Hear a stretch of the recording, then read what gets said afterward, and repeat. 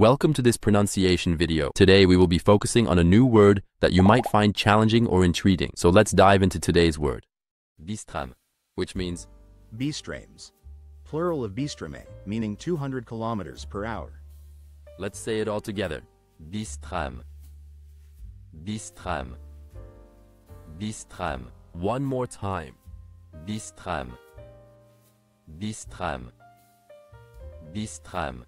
Thank you for joining us on this adventure in pronunciation. Remember, language is a journey, not a destination. Keep exploring, experimenting, and expanding your linguistic horizons. We'll see you next time.